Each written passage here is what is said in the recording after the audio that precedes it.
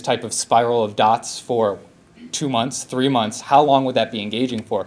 And we don't know the answer to that. Um, we our, uh, Dr. DeThorne had a master student who did two uh, clinical projects using our visualizations. And what we saw was these kids stayed engaged with the uh, visual and auditory feedback over an entire uh, academic semester. So they were still engaging with the software after, I guess that's roughly three months, um, which was really exciting. So I don't know if that gets to the heart of your question, but that's the data that we have that I can answer you about. Um, that was really, really interesting, and I can't thank you enough for coming out and saying that children have preferences and backing that up with some data. That's really important. Uh, I wondered how you define low functioning, uh, what, what measure you used for picking out those students. Sure. Um, so how do we define low functioning? Well, it, it, this was a pilot study, so our goal was get the kids that we could. Um, and so we defined low functioning as children who were not using vocalizations or any other form of communication to communicate. So they might be using the, uh, you know, pulling mom's hand and pulling her towards the fridge if they want food. So they might be communicating in that way. But they weren't using speech, they weren't using an AAC device, they weren't using sign. So these kids were, for all intents and purposes, non-communicative. Um, and that's how we define low functioning for this experiment. For our follow-up experiments, we're using the Goldman-Fristoe uh, assessment as well as the MacArthur Bates uh, vocabulary assessment. So we're actually going to be plotting their language and their expressive and receptive at the start of the experiment and then at the end of the experiment to see if there were actual changes that came out.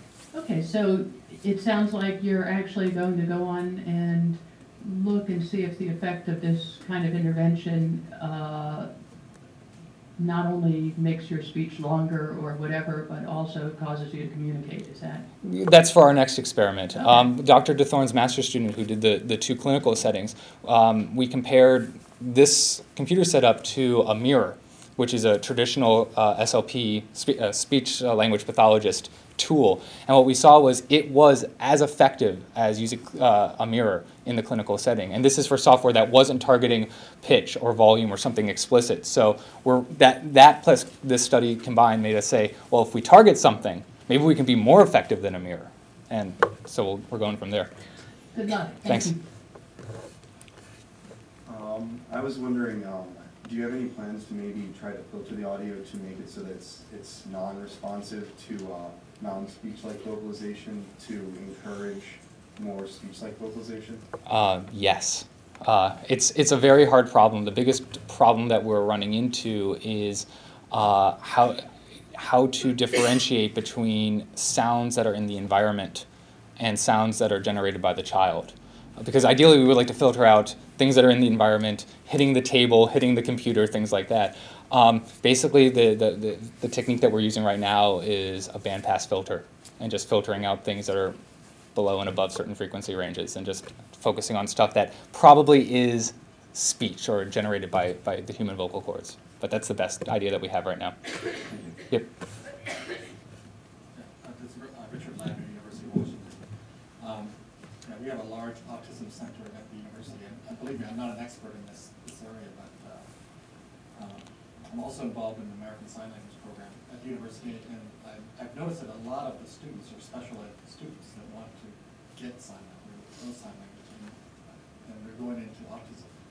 And so I'm wondering, if, have you considered other languages besides just English as a possible communication avenue beyond you know, for these children? You do a study in that area? Um, in terms of using our software, I, I, it's not limited to English. I, am sure you could use it for French or German or any of the uh, Western languages. But in, but in terms of using sign or using an AAC device, um, the, our Dr. Dr. DeThorne, who is a uh, speech language pathologist, her, her opinion is, and, it, and we share it, is we want these kids to communicate. If it's through voice, if it's through an AAC, if it's through sign, it doesn't matter. Um, so my dissertation work is focusing on just uh, vocal expression, but she, in her uh, clinical settings that we're going to we have and we're continuing to go through are incorporating sign as well as AAC devices and picture pointing and many, many other other avenues. And when she publishes her work, she'll show the, she's recording the, the use of AAC devices and sign in the setting, as well as use of voice, use of the, the software, and things like that. And by the way, that was a wonderful presentation. Oh, thank you.